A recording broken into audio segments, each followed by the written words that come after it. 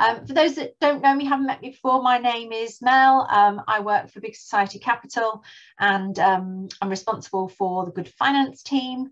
And uh, we work together in partnership with a range of um, organisations um, to host these Let's Talk Good Finance events um, for really informal ways to get a chance to hear peer stories. That's something we've learned that works the best um, sharing stories from other organisations. And we're really pleased this afternoon to be partnering with the New Anglia Social Investment Partnership. And um, Laura's going to say a little bit more about that. Hi, Matt. Nice to see um, sunny northeast. I want to know why have you pinched all the sun? Because it's absolutely chucking it down with rain here, I have to say. So uh, I think it must have known to put my washing out. So that's bound to make it rain, isn't it? So yeah, good. Well, I'm glad it's sunny where, where you are as I say, please feel free to introduce yourself in the chat. We'll leave it one more minute, Annie, um, and then we, we will get going. I can see you're still admitting people um, as we go.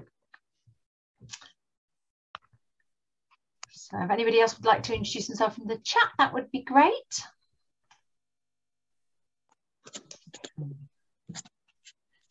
So where have all our 51 sign-ups gone then? it's unusual a, low number to start in, but that just means you get more time. So we've got uh, Oona from Oh Knowledge Transfer. Okay, great. Oh, and she's given us contact details. Giving us contact details as well, which is really good. Great. Right so we can use the time as uh, productively as possible. Um, if you didn't catch before, my name is Mel. I work for Big Society Capital and I'm going to host um, this session on social investment and governance this afternoon. Going to um, try and keep my bit to um, uh, a shorter period as possible um, and try and get on to um, the main part of the event. Uh, which will be to allow you to listen to our two panel speakers um, this afternoon. Um, before I do that, I'm going to um, ask uh, Laura, who's the head of VCSE Organisation Development at Community Action Suffolk, just to do some introductions and say why we're working together to run this event today. Hi, thank you. Um, so um, I work for Community Action Suffolk, which is an infrastructure organisation. So um, a go-to organisation for VCSE organisations, specifically in Suffolk. Um, really our role is to ensure that the sector and its volunteers are supported, safe and sustainable. Um, so we've been, um, we've had a project running here at CAS for some time around social investment. So we had a successful funding application to the Connect Fund back in 2018, um, where we secured funding for a two-year project, which was um, supporting social investment in Suffolk which looked at highlighting and developing social investment market here in the county. And it's really from this project that our current project, the New Anglia Social Investment Partnership, otherwise known as NASIP, evolved. So um, NASIP is, is hosted by us here at Norfolk, um, and we work with Voluntary Norfolk in partnership along with um, Orbit Housing, Suffolk County Council and Norfolk County Council. Um, and we have a common goal of supporting social enterprises to grow and thrive by accessing appropriate business support and finance to increase their impact in the communities across Suffolk and Norfolk. And working together um, over the two counties has maximised the partners' expertise, capacity and knowledge. So we um, launched our partnership um, in 20 in February 2021 and, um, and through that partnership, we deliver direct support to social enterprises across both counties, including workshops, mentoring, and upskilling resources um, using the collective assets and skills um, across all of the organisations that form that partnership. Um, at, you know, as we know, social enterprises are an increasingly vital piece um, in the jigsaw of the local economy now more than ever and they offer an approach to business which obviously looks at their own sustainability, but also at another bottom line that are bringing social benefits through the entrepreneurial activity and um, through income generation. So through this um, partnership, two weeks ago, we embarked on our first eight week long learning program, which has been really exciting. We have a cohort of 10 organizations that's been supported through um, a program that has um, workshops, peer-to-peer support, mentoring opportunities, um, which has been really great for those organisations. Interestingly, we had a lot more apply to be part of that um, support package, but we were only able to fund the 10 initially. But we hope um, to be able to support them through and by the end of that programme look at social investment as, as an option. So since um, NASIP has began, um, we've, we've grown to have 140 organisations um, on the network, which has been really good. So we often have requests for information on social investment and governance and and which is how we came through to today. And we're really excited to being able to work with Big Society Capital and Good Finance to deliver this event on Trustees Week. So I think that's probably it from me, Melanie. Thank you. Okay, great stuff. Thank you very much. Um, that's great, Laura. Thank you. Um, right, let's uh, move on. I said I'll try and keep my um, my um, slides as brief as possible, but I want to talk to you a little bit about um, social investment in governance, and I thought we would do um, these three things: risk, reasoning, and is it worth it? Because I think those are probably the three questions that I get asked most often. Okay. So um, we're going to do that session now. Um, I'm also going to give you some advance notice that we're going to be using a little tool called um, Menti or Mentimeter. Um, so if you have got your phone to hand or uh, another device, we'll give you several ways that you can access that platform, but um, it's just a, a, quick little interactive piece we're going to do. but we're going to try and move on as quickly as possible to the Hear from a Peer panel and the importance of talking to your board about social investment. We're also going to have plenty of time for questions and answers. So um, as we go through, um, if you want to jot your questions into the chat and then we can come back to those so that it's just as, as soon as you think of them, please jot them in. Um, and if we're a fairly small um, bunch, which it looks like we're going to be, then it may well come to you directly to answer your question. Not forgetting that there are no stupid questions. This is all about peer learning and support. And I usually find that um, if there's a question you're thinking of and you want to ask, there's probably somebody else sitting out there wanting to know the same thing. So um, this is all about having um, a safe space. Okay, we're going to finish up afterwards um, with around some uh, resources and next steps, um, and then we'll tell you what's going to happen after that. Thanks, Annie. Okay, so um, this is um, your um, Mentimeter. Um, you can go to this in, in uh, several different ways. You can either scan this QR code that's in front of you. Um, do you just want to leave that on big screen for a moment, Annie, if you can, just in terms of sharing. You can either um, share from the, uh, the QR code.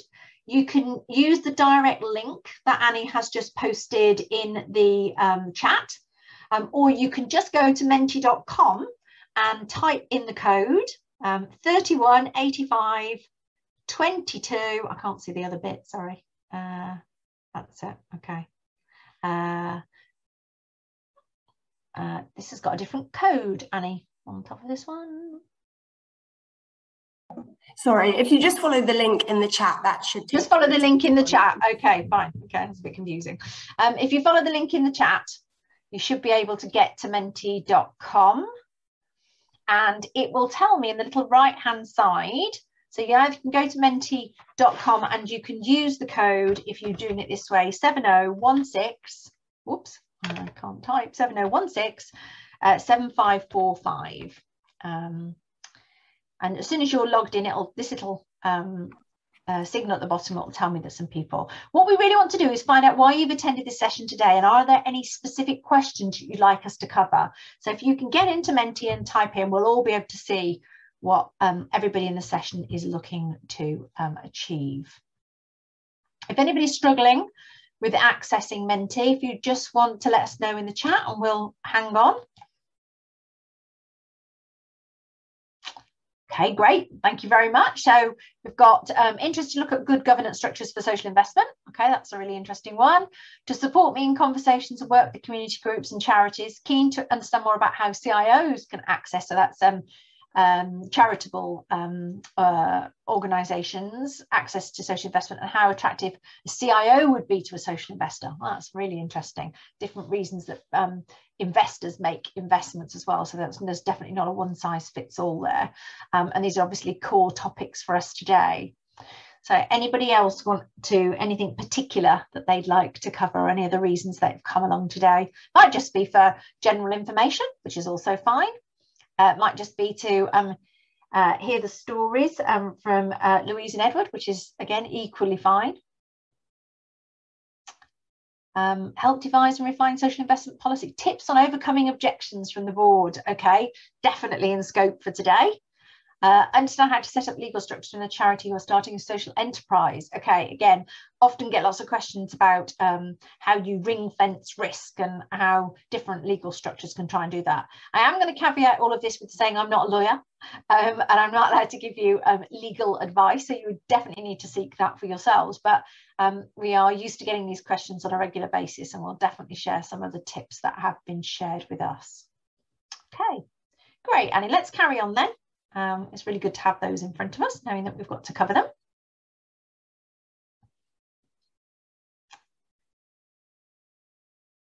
Okay. Right, so let's talk about legal structures, okay? The two most frequent questions that I get asked are, how do you choose the right governance structure if you're getting started? So there was one of those in the last slide, um, as in if you're a charity and you're thinking about starting a social enterprise, or if you actually haven't started yet. Um, and you need to think about what type of governance structure. It's definitely worth thinking right at the very beginning, do you anticipate that you might need to raise investment? In which case, what type of investment do you think that you'd need to raise? Because there is um, there are some restrictions that come depending on what type of governance structure you choose and so that leads me to the second part of our conversation which is what's possible now so if you are an existing organization and you are constituted depends on your legal structure as to which types of social investment you might be able to raise. Um, probably the simplest definition of those two things are that there are essentially two buckets of social investment. There is debt or borrowing, which is a loan eventually, essentially, or there is equity and shares. Okay, um, and only some um, legal structures that sit within um, uh, social purpose organisations would enable you to be able to raise um, equity type investment mainly because many social enterprises and charities don't have legal structures that have shares that they can raise investment against. So um, this question, um, I do remember um, around about 10 years ago, being completely baffled by the uh, nine or 10 different legal structures that sit under the social enterprise and charity um, banner. I was very fortunate at that stage um, to come across a really friendly um, uh, down to earth lawyer from an organisation called Anthony Collins, um, who helped me understand the different legal structures. Um, using minstrels, I, am sure that's I'm sure there are other chocolate brands available, but I think it was the chocolate helped it all go in because I, I, certainly didn't understand that social enterprise was this catch-all term, and there was a range of different legal structures that sat underneath that. Now, um, as a um, a result of that conversation, we went on to produce, in partnership with Anthony Collins, a really succinct, I'd like to tell it's a one page guide. I think it actually spills over three pages, but it, what it does is it covers all of the different um, uh, social enterprise legal structures. And one of the things that we've done more recently is to add how that works with social investment.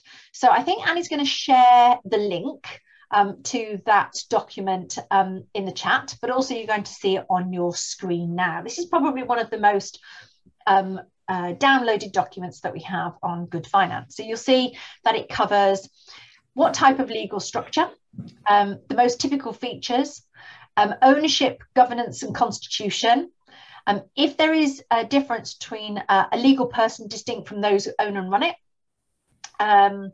uh, can its activities benefit those who own and run it? Uh, what asset locked means? Um, can it be a charity and how the charitable um, status and tax benefits? Um, if there's any difference um, in the law, particularly around um, the nations. And then lastly, social investment, structural applications and general guidance. So I'm just going to take the very first one. And thank you, Susan, you've used it a lot. Yeah, I still use this, um, uh, you know, many occasions. I, I just found it a really easy way to just get to the nub of the matter. So um, let's go with the unincorporated organisation. And if you put this all the way across to the bottom, it's very unlikely to be able to attract social investment due to the lack of corporate structure, essentially because um, it's very informal. Um, there isn't any one person that you would um, hold to account, or if there were um, people you would hold to account, they would be individually personally liable. And that's not something that social investors would want to do because um, it would bear a lot of responsibility for the individuals. But if we skip down just a little bit, and just give me so I can give another example. Uh, to yeah if you just hang there so um, a limited company um, this is one um, uh, most um, charities and social enterprises, most social enterprises are companies limited by guarantee, in which case um, you'll see right at the end, the structure is not eligible for any kind of um, shares kind of investment. And yes, the slides will be um, uh, available and this document is also um, always available to download from Good Finance. So you'll see here, each of the different structures is outlined um, and uh, I think it covers most of the, the sort of um, top line bits of information that you would need. We just go back to the slides, Annie, for me. So the question that I often get is, so is there a right, um, you know, like, is there a best governance structure? And the answer is there isn't a best, it's what is the most fit for purpose. I have no problem with the presenting. There we go. Yeah, smashing. So um, it isn't whether there is a correct um, type is whatever is the most suitable organization uh, suitable governance structure so it's probably worth thinking right at the beginning if you think you're going to have to raise investment if you think that your organization is one that is firmly rooted in the community uh, let's say it's a, a, pub or a community hub, and you might want to raise investment from a range of different local investors. Then maybe something like a community benefit society would work for you. If you're an organisation that thinks that you're going to need to uh, raise investment, but you think you're probably going to need a loan, for instance, for working capital. So maybe you've um, had a building or an asset that's been transferred or you already own it, but you need some money to do the development work, then taking on a loan is essential, um, is potentially um, available to you throughout most of the different structures that have been outlined.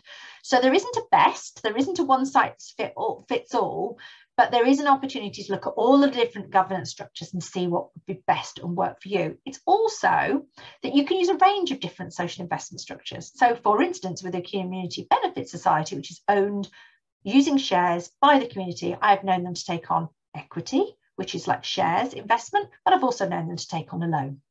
So there isn't a simple, but I do hope that that one guide will really help you to understand more about what types of investment are available to you. So let's move on to the next slide and let's talk about risk.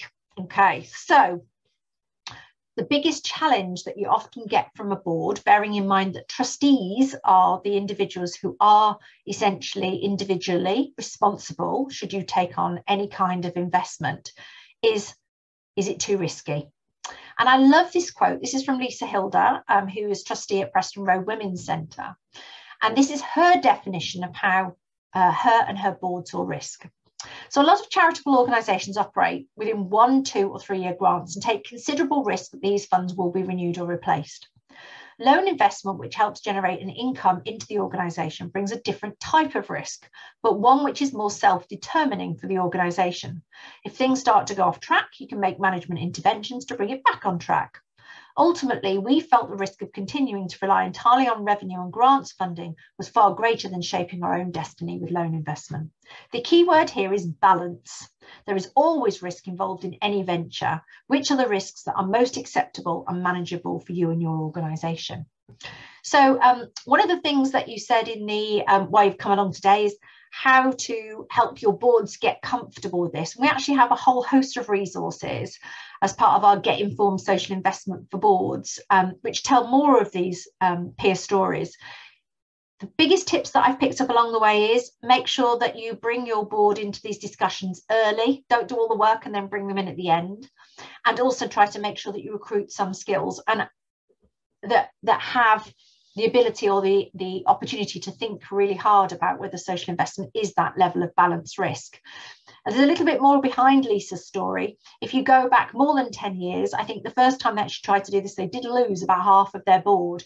There were some people just thought that it was a wrong thing to do to take on debt.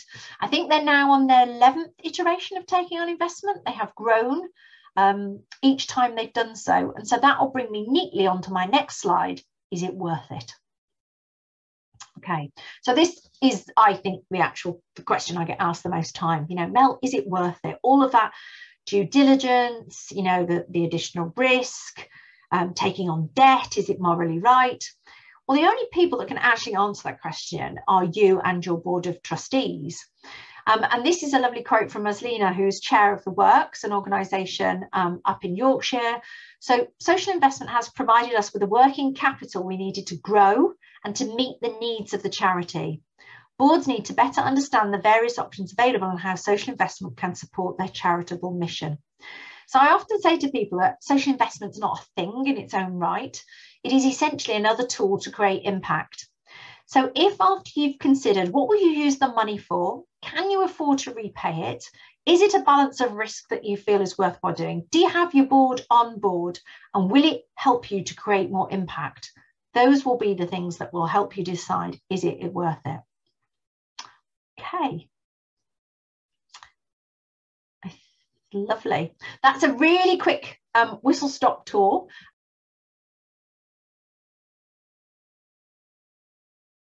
handing over to our two peer speakers. And I'm really pleased to be able to welcome um, Edward Hickman, um, and he's going to talk to you um, a little bit about um, his experience um, with, um, his chair of SCA Traf Trafalgar and also Merton Music Foundation. So Edward, I'm going to hand it straight over to you. Thank you. Thank you. Well, very kind introduction. Uh, so today I, as mentioned, I'm involved with two different organizations which I would describe as charitable enterprises. And the one I'm going to talk about is SCIA, um, which is a holding, well, it's, a, it's more than a holding, but it, it's a charitable enterprise based in Southampton, so a different geography from Suffolk.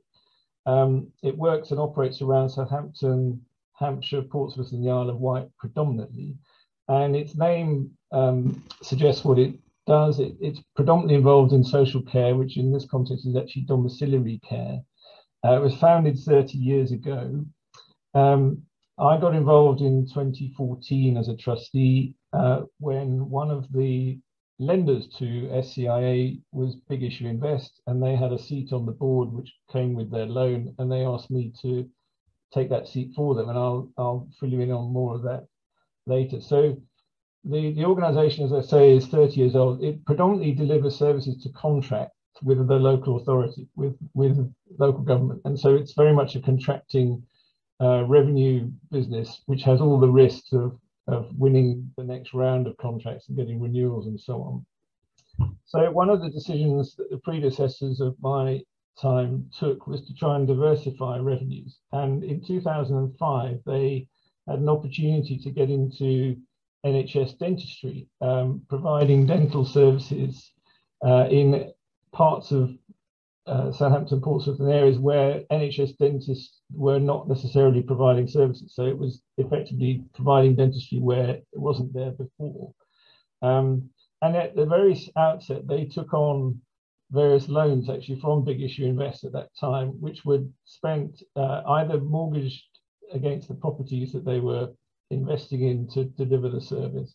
And I've got a history here of some of the loans. So the first loan was taken out in 2006, and it was a 20-year loan of 200,000 pounds. Um, they were variously refinanced these loans and, and over the years, but they've borrowed over the years uh, around that sort of order of magnitude in different formats.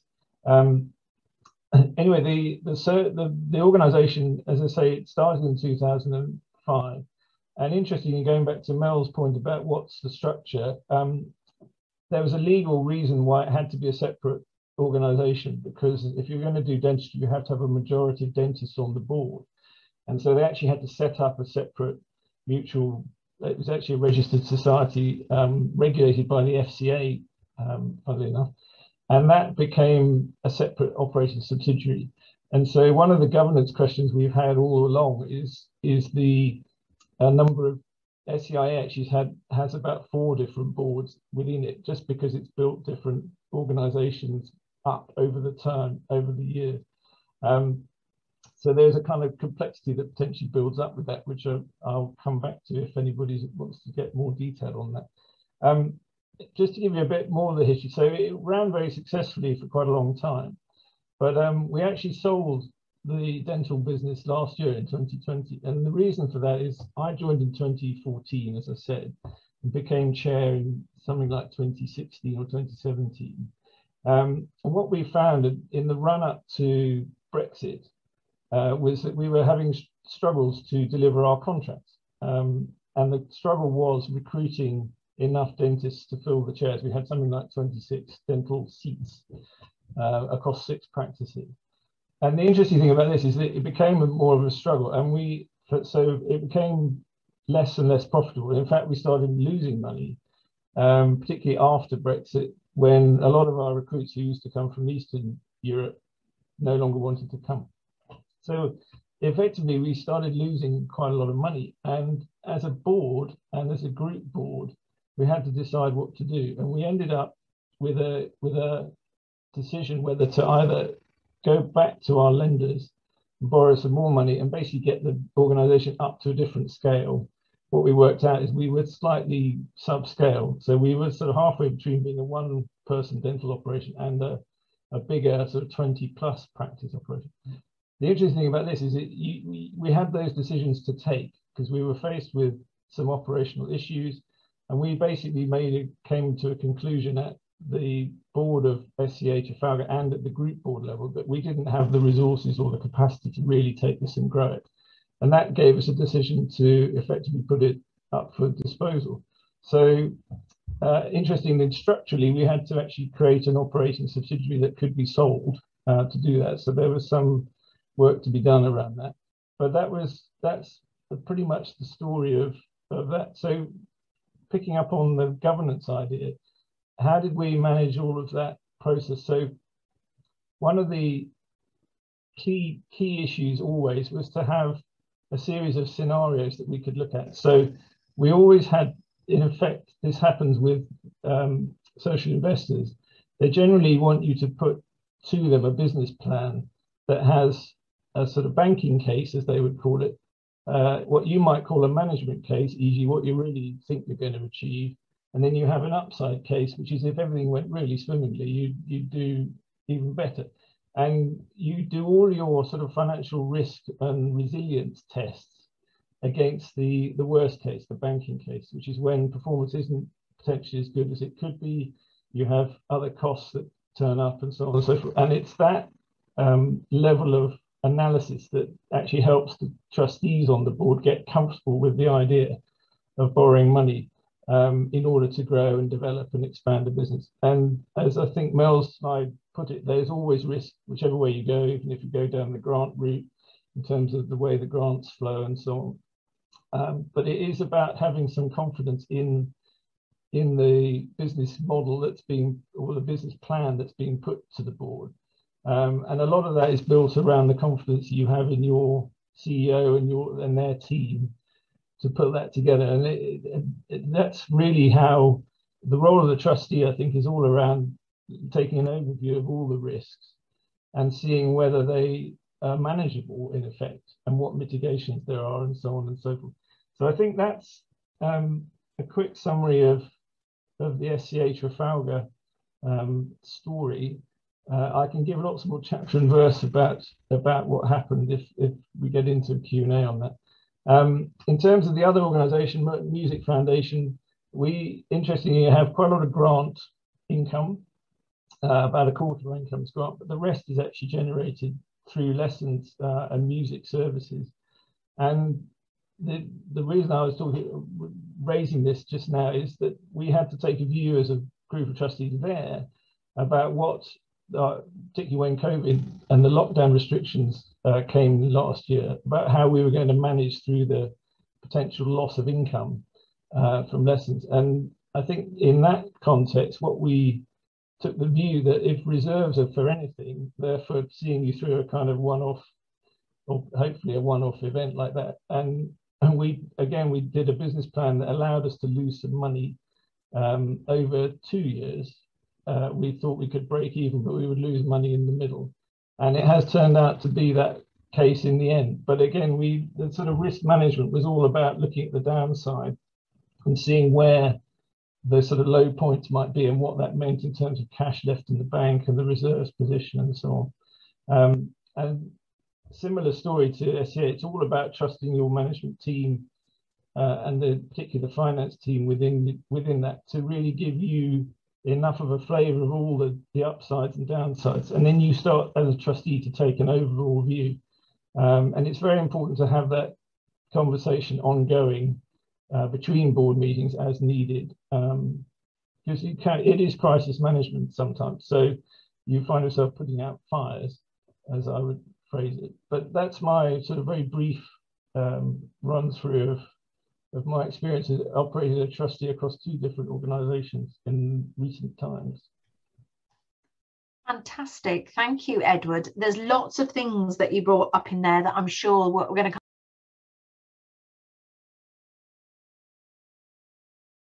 Hello all again. Um, my name is Louise Hale. I'm the Chief Executive Officer of a relatively small charity up in um, West Yorkshire.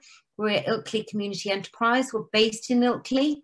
Um, I was, I've been the CEO um, kind of part time for now for about two and a half, three years.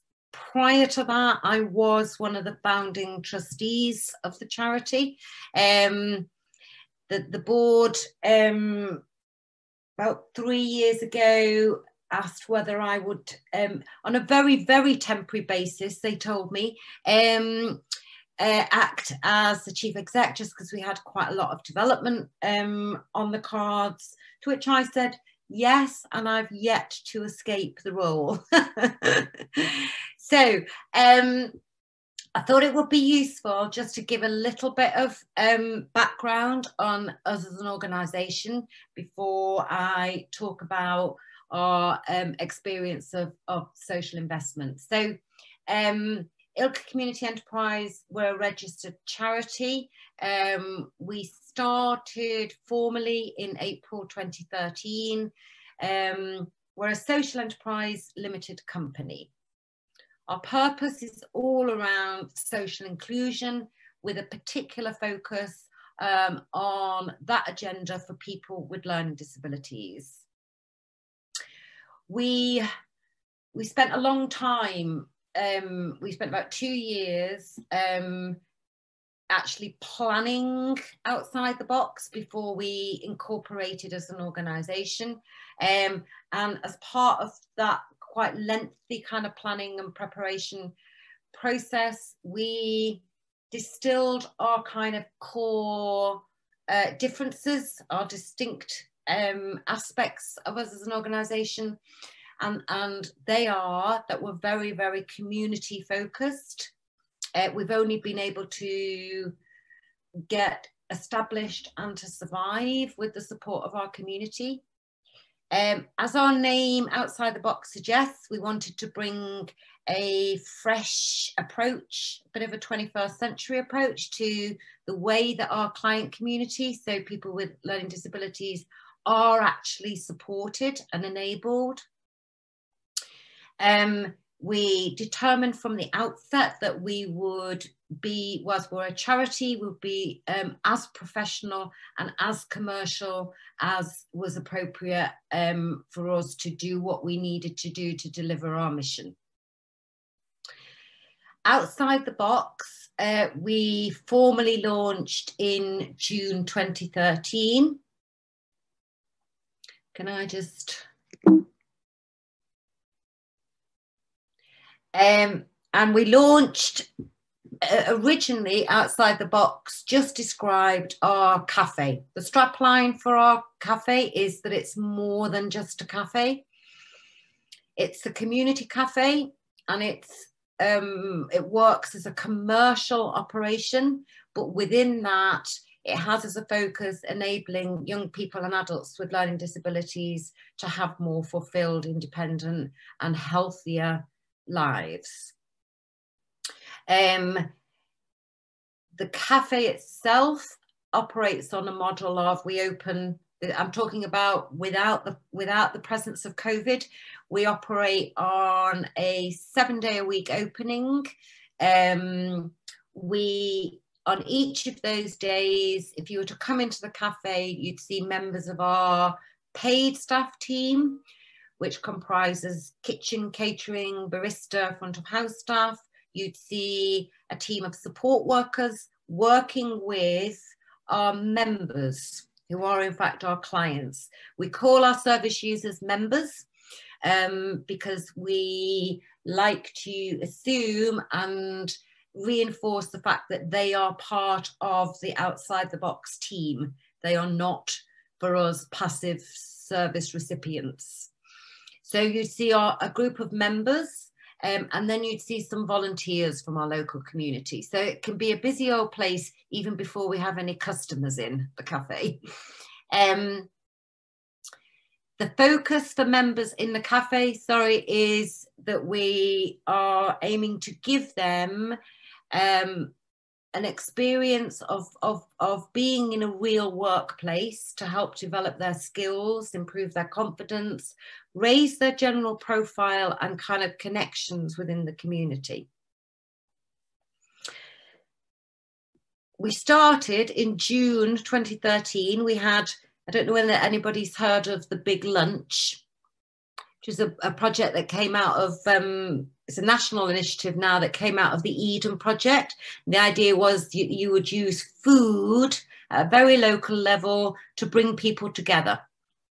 And we launched in June 2013 with Ilkley's first big lunch. Um, and people basically just brought food and drink along to the cafe. We then opened for two days a week. We had half a dozen or so members and it was run entirely by volunteers, including the, the, the, the, the three founding trustees. By March 2020, we were open seven days a week, nine to four every day. We had 60 members, so 60 service users every single week.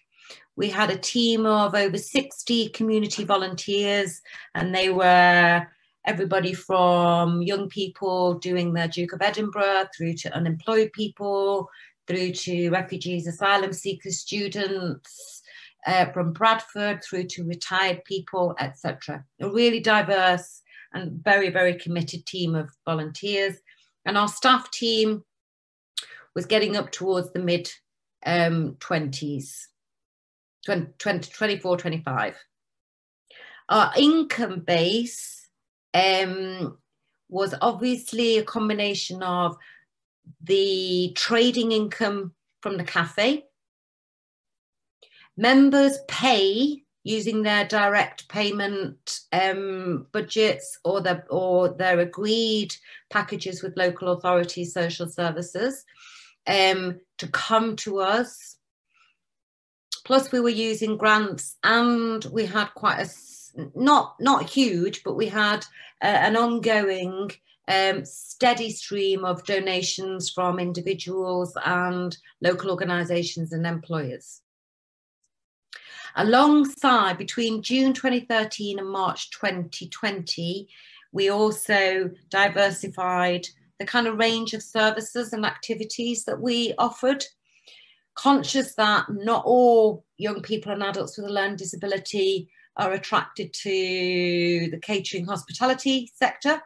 So we now run something called Outside the Box Choices, which offers a whole range of different courses, workshops, activities, projects, um, which span arts, crafts, printing, textiles, photography, drama, um, keep fit, um, lots and lots of different things.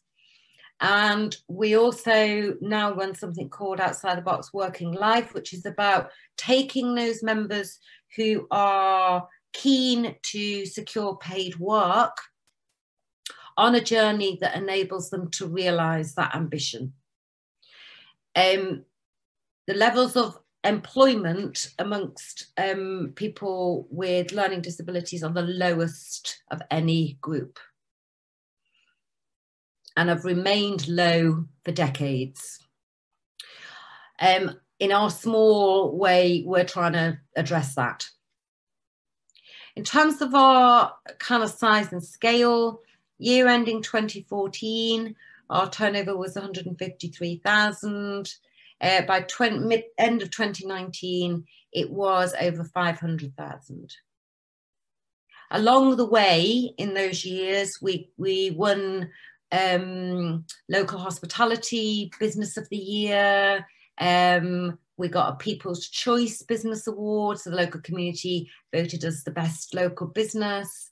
We had the BBC come and do a little piece on us. We featured in the Guardian Society section, um, particularly for our work in progressing members into paid jobs.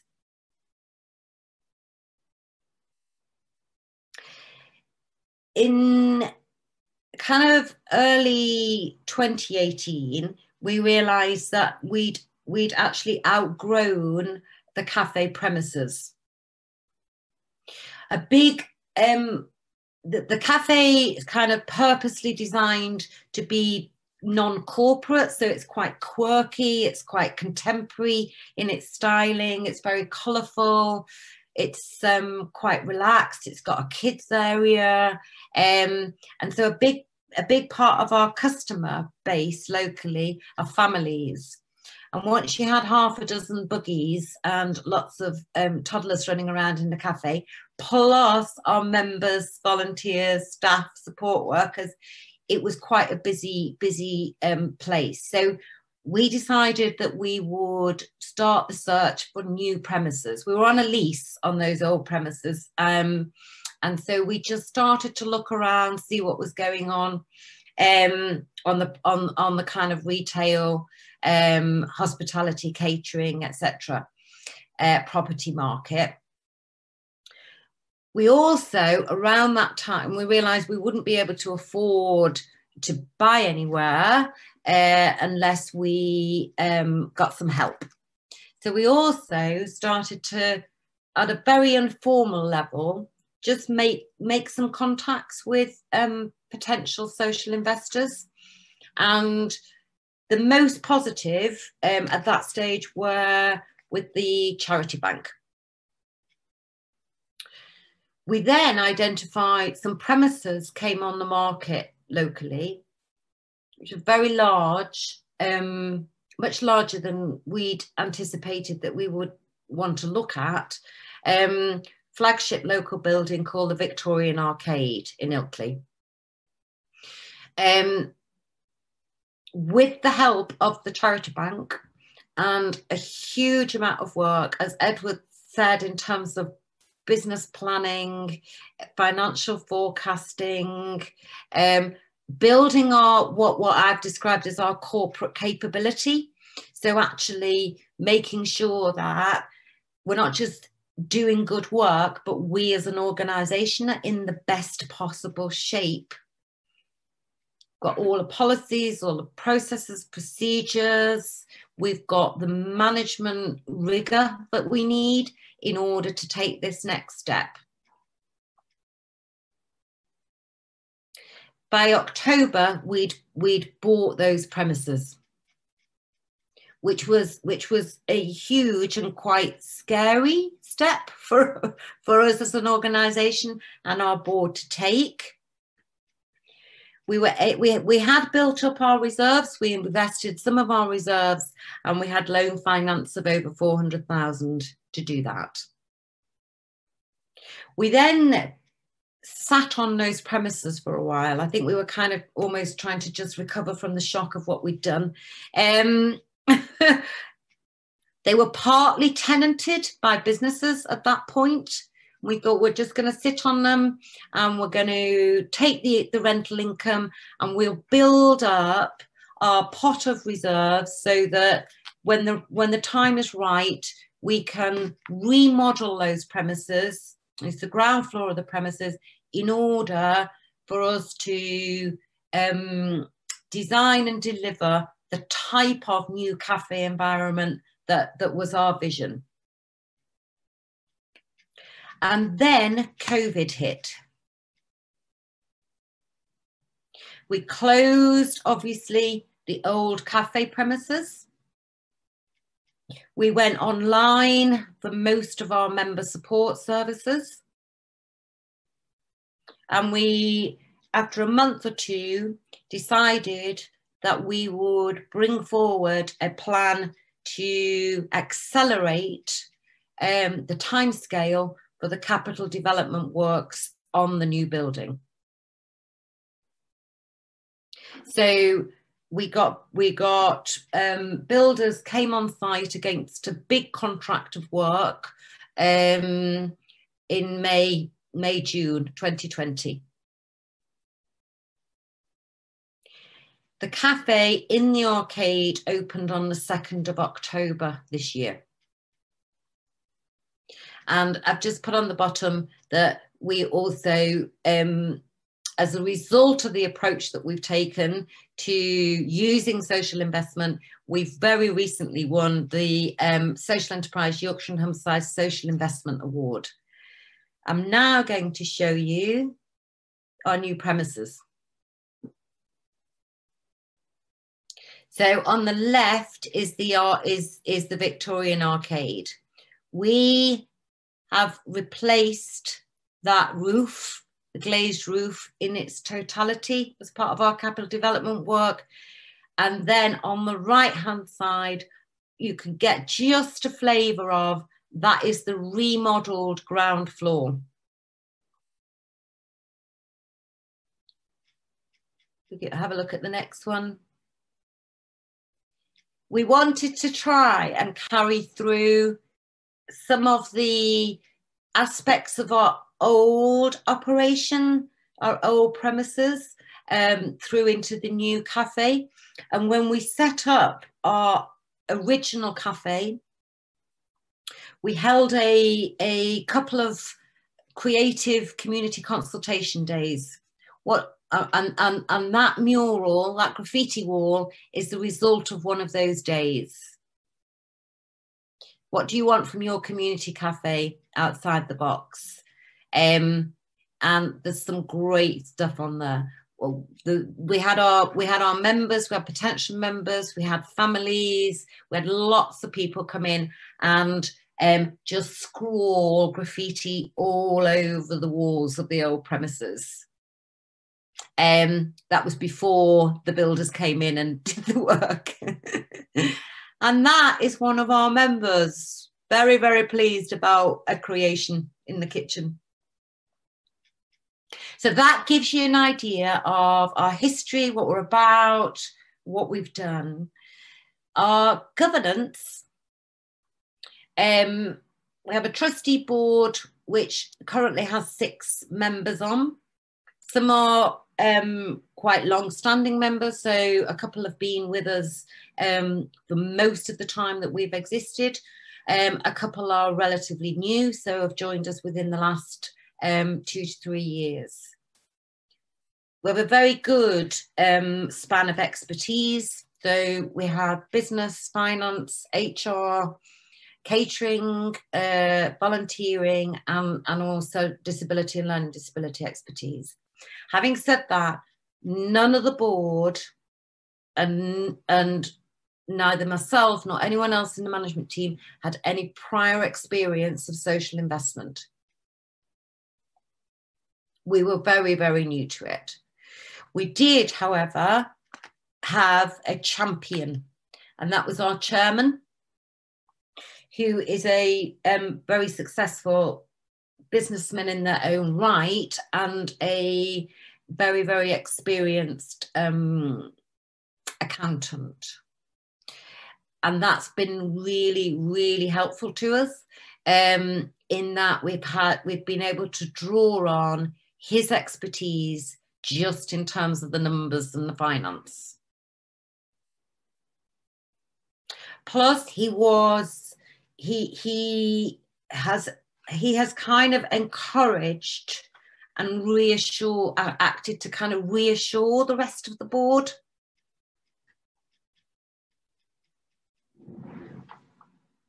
We've had to do a lot of work in terms of being clear this in uh, this was in in in in the kind of planning and discussions with um, the charity bank and other potential um, lenders about why we were doing what we wanted to do.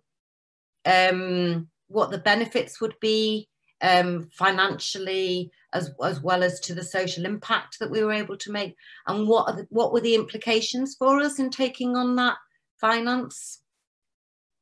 Lots of modelling, as, as Edward said earlier, worst case scenario, best case scenario, somewhere in between. And um, lots and lots of iterations of our risk analysis, none of which included COVID.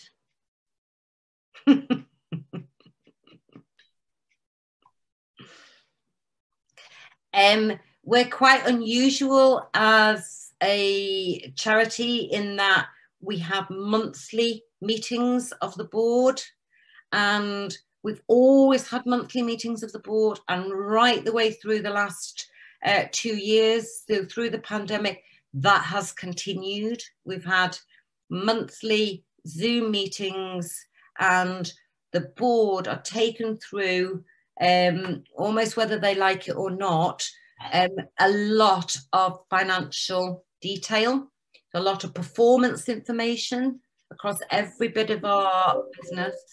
Um, and a lot of throughout the pandemic, a lot of cash flow um, iterations and a lot of forecasting. Lovely. Okay. Final, oh, sorry, final. Sorry, I know I'm going on is is as uh, it's already been mentioned in the involvement of board members early in the process. So we brought um, our charity bank um, contacts into board meetings very early in our discussions. Great. Um, I think I've got one other. One other. Our learning, very quick run through. It is about taking risk. It, it, it does feel very hairy, particularly for an organisation um, of our size and scale, but definitely worth it enable the board, so keep them really, really well informed. Um, and also make sure managers across the organisation understand what's being proposed and understand the implications of what's being proposed. Very, very rigorous financial reporting and financial management. An open and trusting relationship with the investors. So, so we have with the charity bank had lots and lots of, of discussions through the pandemic about how we managed the repayments against the loan, significant loan, and they have accommodated us and been very good at accommodating us. Um, leverage the investment, the fact that we took the risk and have made it work thus far, um, and obviously have managed to, to, to convince an organisation like the Charity Bank to loan to us is, is quite impressive to other potential funders. We know that other potential funders have been impressed by that and, and have, have given us money as a result.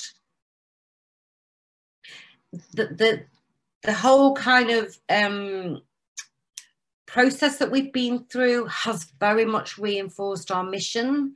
It's given us a kind of reinforcement um, amongst lots of different audiences that what we are about is being ambitious for our client community, that we want to do more, we want to do better for them. And there's been lots and lots of spin off benefits in that we've now got the space and the platform to be able to further diversify our services and we've got a stronger profile and reputation as a charity. I think I better stop there. Brilliant. Thank you, Louise. That was great.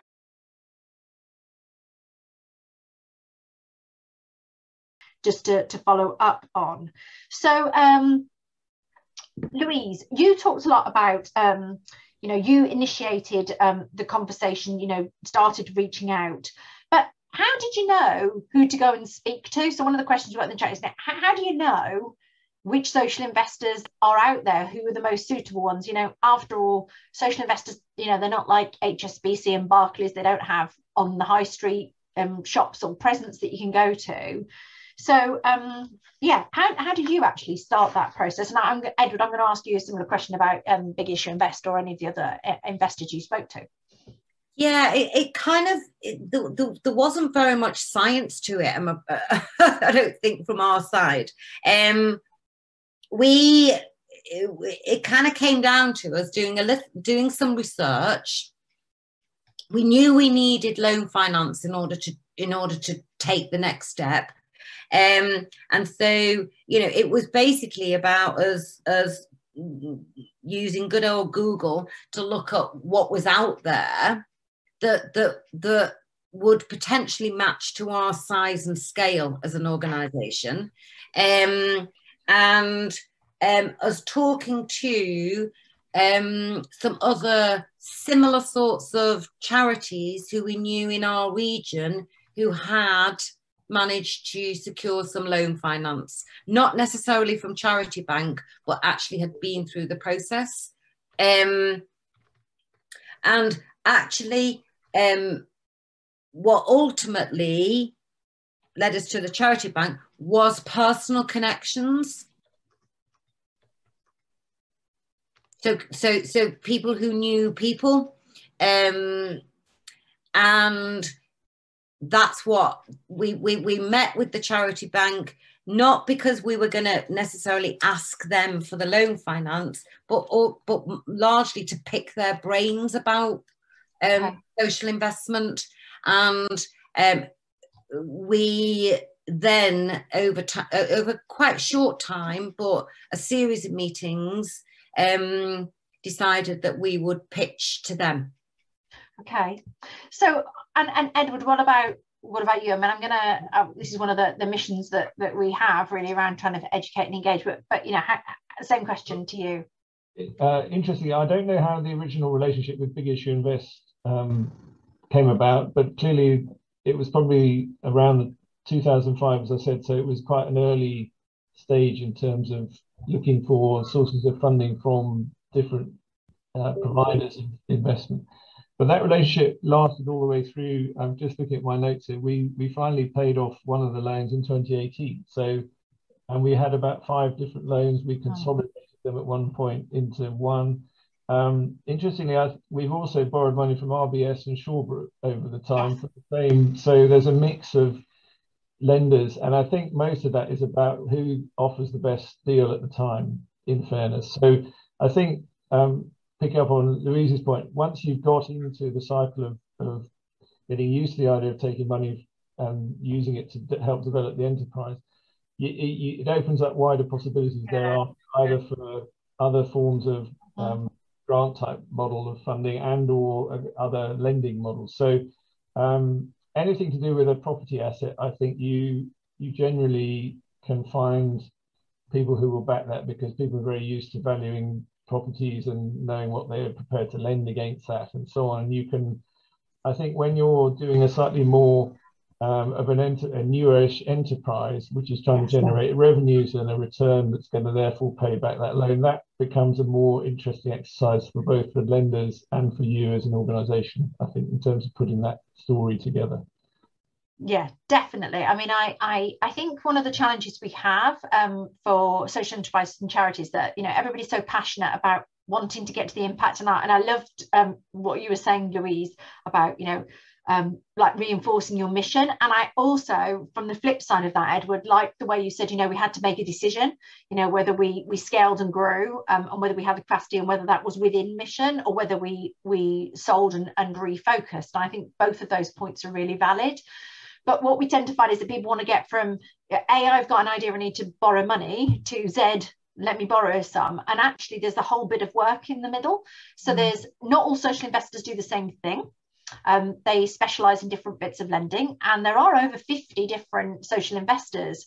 So um, one of the things that Good Finance does is provide you a whole list of investment advisors. You know, there are new people lending. Again, we won't tell you that only social investment's the right thing. It may well be that mainstream bank lending, like RBS is, is something that you would want to do. It sometimes can be more competitive. Um, but there is a real difference, for instance, in those that specialize in what Louise is talking about, which is a secured loan, essentially like a mortgage, you know, against an asset, which is the um, least risky, not no risk, but the least risky type of um, borrowing because there's an asset that if things go wrong could be sold to repay the debt. Yeah. But if you're borrowing um, uh, development finance or working capital, because actually, like working capital to cash flow a contract is the biggest requirement for social enterprises or charities, because they tend to have to put the work in up front. And again, Edward um, talked about this in terms of the contracts they deliver and then get paid later down the line then obviously um, if that money um, isn't going to get repaid, if things go not according to plan, there's nothing that could be sold. So that's the highest um, risk. And, and, you know, the cost of finance is directly um, relevant to the risk that the investor is taking and also to the where the money comes from. So there's mm. a difference, for instance, between borrowing money from a philanthropic source where that money hasn't got to be recycled to say borrowing it from uh, charity banks are a really good example because actually their assets, um, their lending comes from holding uh, savings and, and assets uh, of, of other organisations, of other social enterprises and charities. So obviously don't want to put that hugely at risk.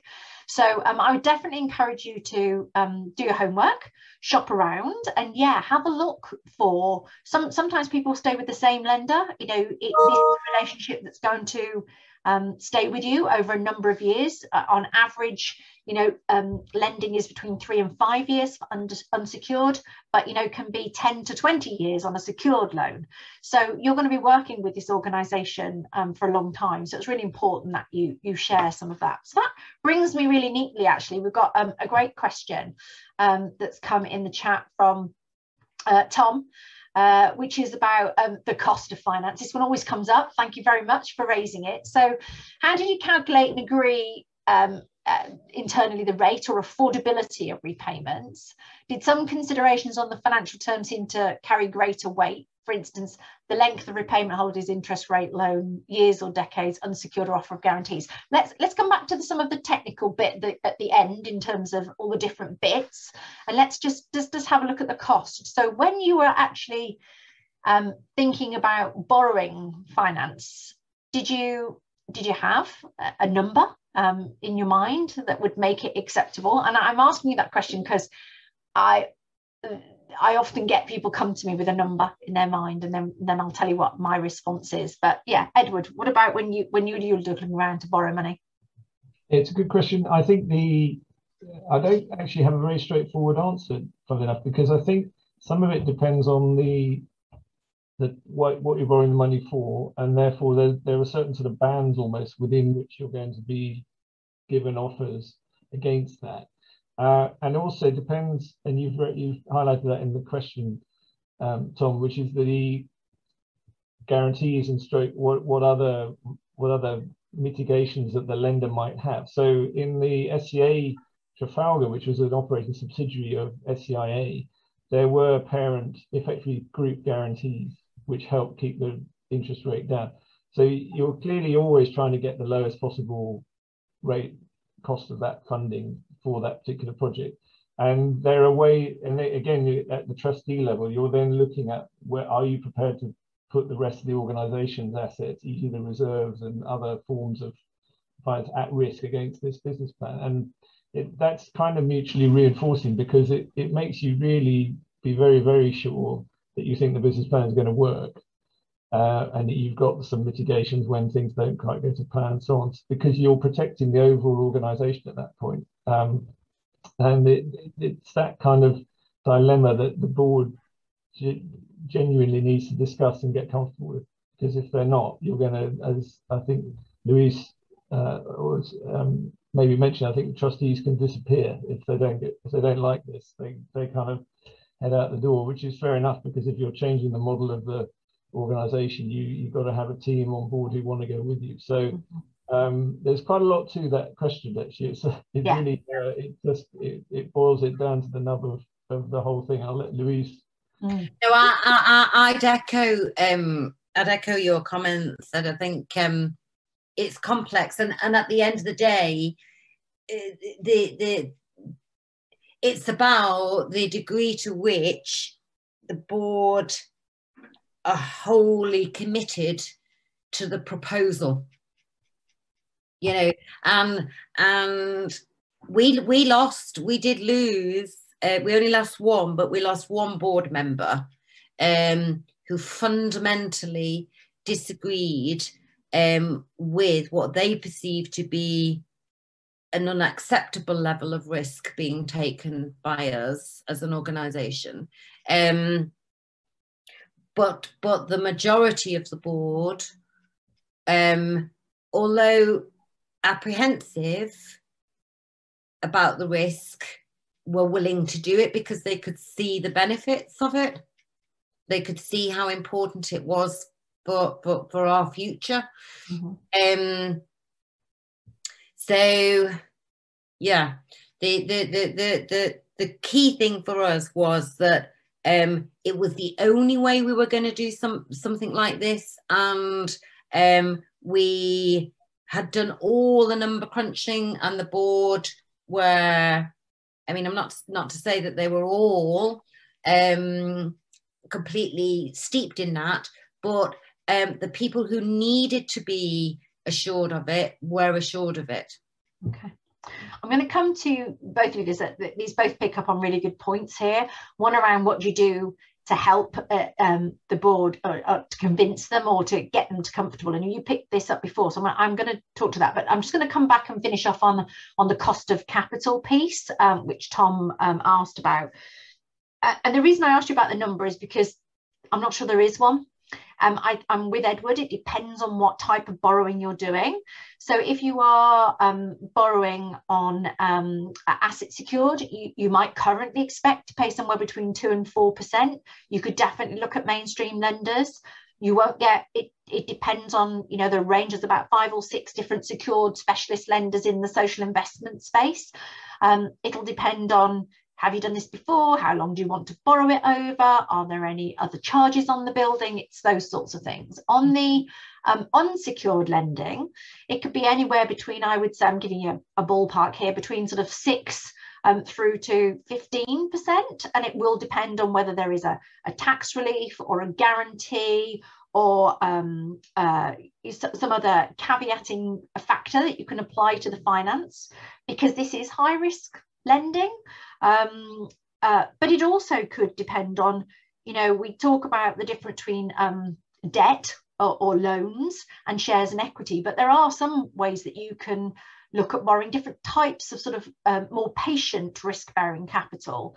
So things like um, quasi equity or quasi equity, I don't know, or um, often called, or often referred to as revenue participation as something that acts a bit like equity, a bit like sort of Dragon's Den um, money, but um, which is often because we don't have shares is um, has some kind of forbearance to the, the level of profit. So the upside rather than uh, the sort of liquid um, exit that a dragon would get by selling um, um, can be uh, obtained. And so, what's really important, and Louise said this, is about trying to work out what type of finance, how much do you need to borrow, how long over. And, and the story that remains with me is somebody said to me, Oh, you know, I it was too expensive. And I said, well, what do you mean by too expensive? They said, well, I wanted to borrow at six percent and I could only get it offered at seven. And I asked them to to work out over the period of the loan, yeah, actually how much that meant, and could they afford the repayment, and therefore was it worth it? Um, also to shop around.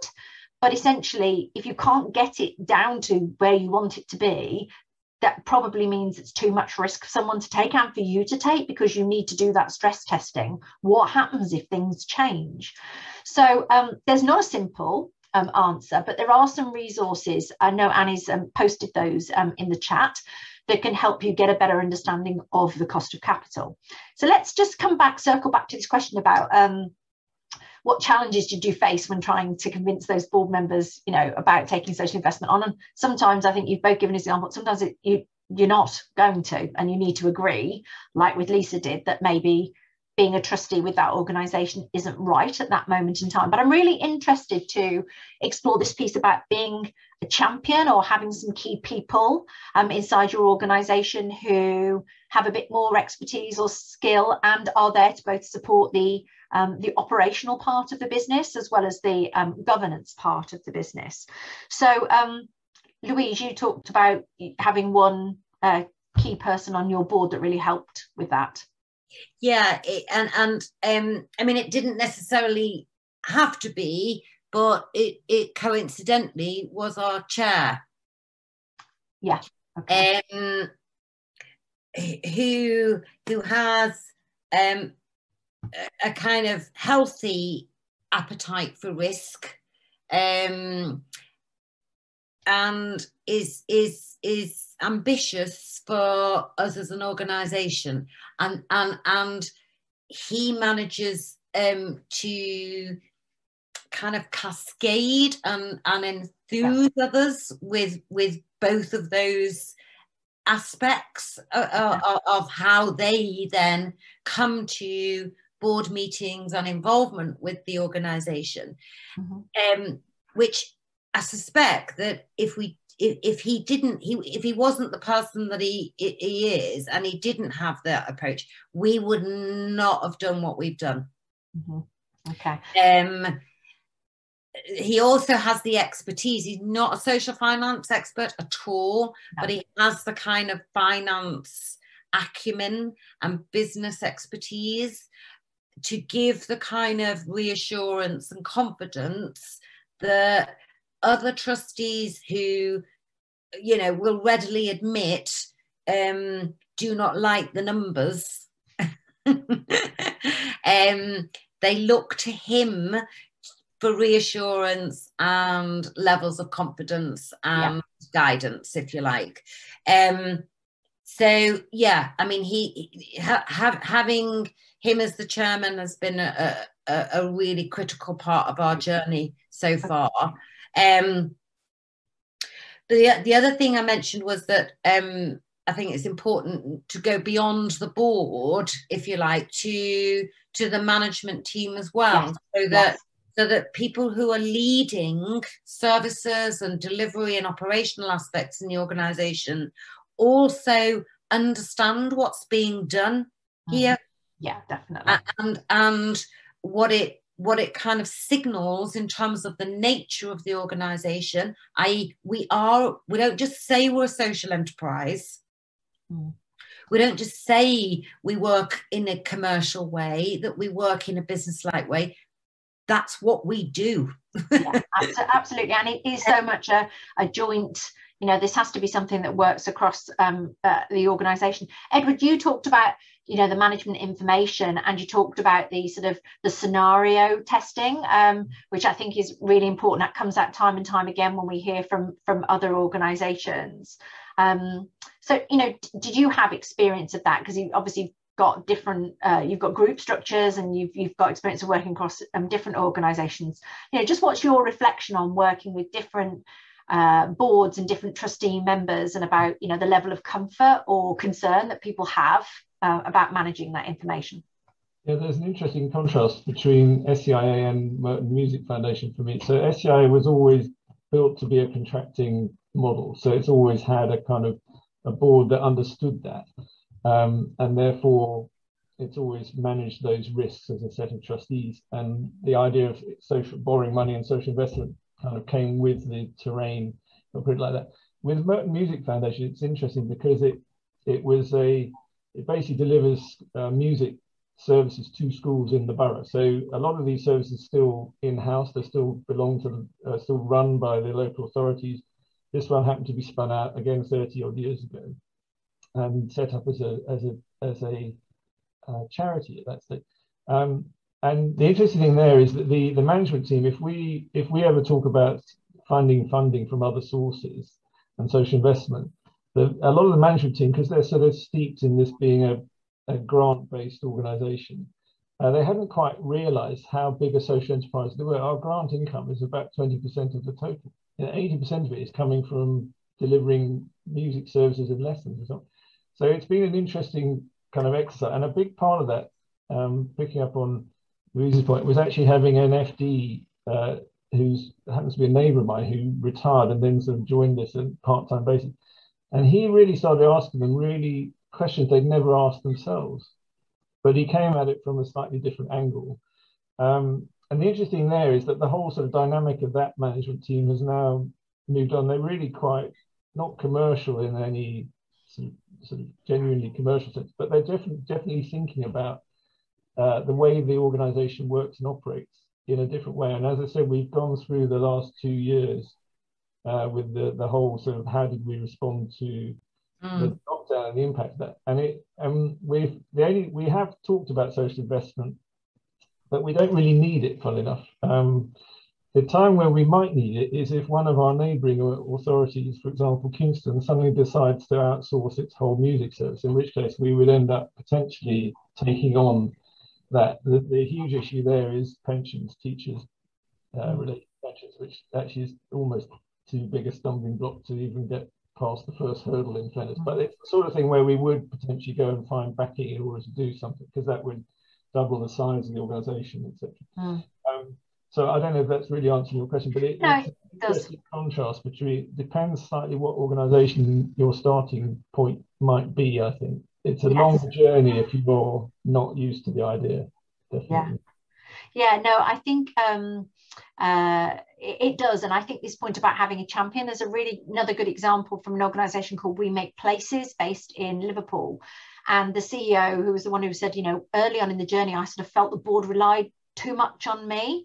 And they realized that perhaps unlike Louise, they didn't have some of that expertise. They actually went out and recruited a board member who mm. had got that background, who could who could present the right amount of challenge and and bring those questions. Um, funny enough, in terms of you know very topical trustees week this week, you know the, the skills that are most required for boards are uh, financial expertise, marketing expertise, and increasingly data and digital. So you know um, I think having that right balance between your executive team, the operations team, and your board um, is really important. I think the other thing that's been really central to bring out here is the fact that, you know, borrowing money is not just for big organizations. You know, the average first time need is £50,000. But I love the example, and, and, and um, the one from Louise is another great case study I love. Um, uh, somebody actually I know really well from when I worked in, uh, I'm based in the, the Midlands. And um, they were a charity who had um, leased their premises for years and years and years, were given notice on their um, premises, needed to move out and find. And they did something very similar bought a base. And I remember actually saying to me, I never thought for one moment, Mel, that borrowing money would save me money because essentially they were paying less on their monthly rent, but they'd added to their balance. The property was growing in value. So they actually became um, a more resilient, more investable organisation. And um, uh, I know Laura's commented on, on this point, Louise, that you made, and it's absolutely true that sometimes you can borrow a relatively small amount of money, but that can really give grant makers a lot of confidence that you've got a really sustainable model and therefore um, that can um, give a wider range of different um, funding mechanisms can give them real confidence to be able to invest in you because they know that you've got that commercial mindset, that you've done your due diligence, that there is, you know, um, a good chance that they're going to be able to repay that money. I'm really conscious of time. We're coming yeah, I, I'm sorry, I am actually going to have to dial out. No problem, no problem. We're just going to thank you so much for your time, Louise, and we'll make sure that these slides are available. Thanks again, Edward. If Thanks you just, very much, everyone. Thank you. I'm just going to um, finish off now, and if you just put my last slide with the lessons on, and we'll make sure that all of these um, uh, slides and um, the, the video recording um, is available everyone. I thought I would just finish with six top tips um, for good governance. Um, and I think that we've covered most of these actually um, from the speakers. So um, if you're in startup mode, think about if you'll need to raise investment in the future. It's never too early to factor that in right at the very beginning because it might help you choose your governance structure. Um, number two, understand how the legal structure you've got is relevant to social investment. Go back to um, that really helpful handy document, the link we shared, but there's also some more resources on good finance. Um, Edward and Louise did this brilliantly for me. Get your board on board and do it early. Um, no big surprises at the end. You're going to um, need those. Um, understand the risks. everybody said, and, and it was reinforced by Lisa's quote, that charities and social enterprises take huge risks every day, that this is just another form of risk and it's all about getting the balance right and making sure that it's an informed choice. So um, get informed, learn from peers. I usually find that there's someone else out there that's probably been on this journey before. And we're great at sharing, so don't feel that you've got to go it alone. Um, and we have a whole range of these here from peer case studies and also on Get Informed that we'll send out afterwards. And then finally, uh, once you've got all of that information, you know, make good choices um, and hopefully um, that will make sure that you can answer that question about is it worth it and don't forget that thing i said right at the beginning social investment is just a tool for creating impact if you have any follow-up questions or want to get in touch, we'll make sure in our follow-up email um, that we send out our contact details. Thanks again to our speakers, um, to Edward and to Louise, and also thanks very much, um, Laura, and to um, NASIP for partnering with us on this event today. And for those that weren't able to join us, we'll be able to make sure that we circulate the recording. Thanks very much for your time.